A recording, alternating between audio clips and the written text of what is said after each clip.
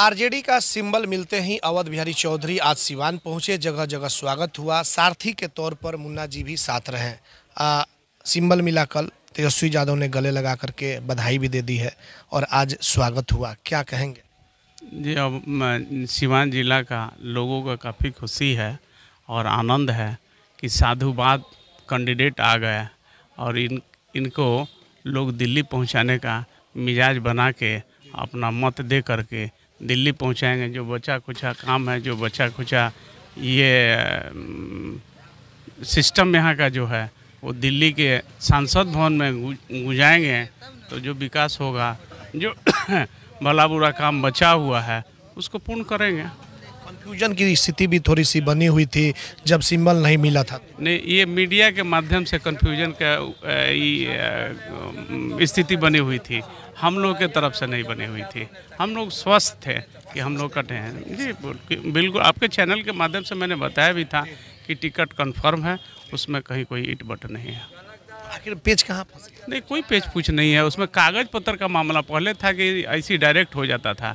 आज का डेट में जो स्थिति परिस्थिति चल रही है, उस मुताबिक सारे पेपर को रेडी करते हुए और तब सिंबल दिया जा रहा है। पहले जो था कि आप गए और अपना पेपर दाखिल किए और आपको टिकट मिला। आज के डेट में बड़ी सावधानी से लालू जी और तेजस्वी चल रहे हैं कि कहीं हो सके कि भाई मेरा कैंडिडेट को बार्गनिंग तो नहीं कर दिया जाए कि मेरा सीट खाली रह जाए। इसके लिए सारा डॉक्यूमेंट्स को ही परिपक्व हो करके तब उसको भर करके तब सिंबल दिया जाता है। उसके पीछे हम लोग नहीं थे टिकट और सिंबल के पीछे नहीं थे।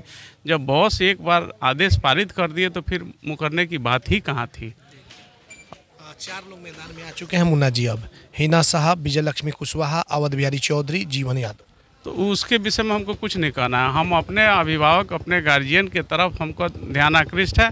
हम लोगों से अपील करेंगे कि जो स्वच्छ छवि का लोग बाग हो जो आपको दिखे कि ये कैंडिडेट हमको स्वच्छ छवि का दिख रहे हैं गांधी दिख रहे हैं और साधुवाद दिख रहा है उनको आप लोग अपना मत दे करके और दिल्ली भेजने का काम करें। आपको लग रहा है कि अवध बिहारी चौधरी के पक्ष में लोग इस बार होंगे माहौल इनके लिए बनेगा? जी देखिए अभी तो ये म, ट्रेलर चल रहा है फ़िल्म बाकी है। अभी तो ट्रेलरे में लोगों का घबराहट है तो फ़िल्म अब चलेगा। घबरा गया आप लोग? ओहो अब कौन घबराया कौन नहीं घबराया? भाई जो फ़ील्ड में है वही ना घबराएगा लोग। मांस देख करके प्यार लोगों को देख करके। हम लोग थोड़ी बोलते हैं कि हम लोग जीत गए हार गए ऐसी थोड़ी बोलते हैं। नहीं जिताना और हाराना जनता का काम है।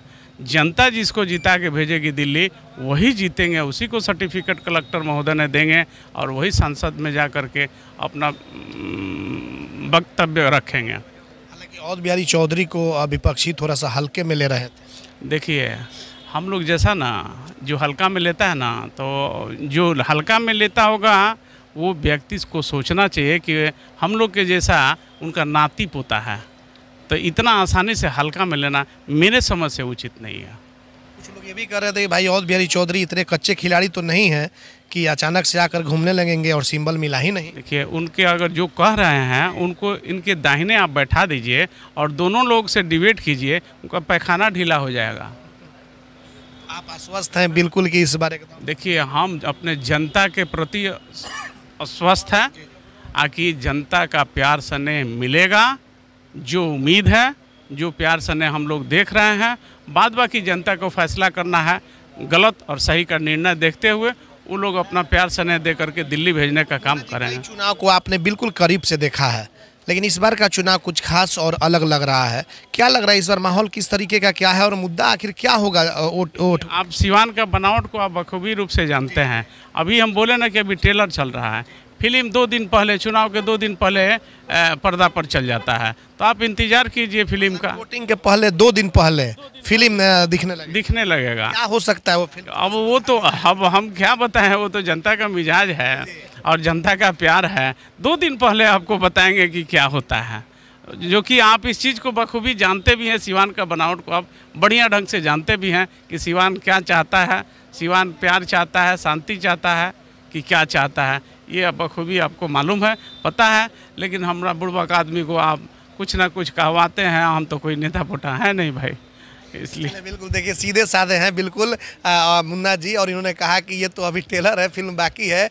वोटिंग के दो दिन पहले फ़िल्म जो जनता को दिखेगी और उसी तरीके से वोट जो है वो डाइवर्ट होगा। हालाँकि 25 मई को चुनाव है छठे चरण में सिवान का और वैसे में देखना होगा कि सिवान की जनता का मूड और मिजाज क्या होता है और सिवान की जो जनता है किसे अपना सांसद चुनकर सदन में भेजने का काम करती है। हमारे सहयोगी प्रभात के साथ चंदन कुमार एटीएन लाइव सिवान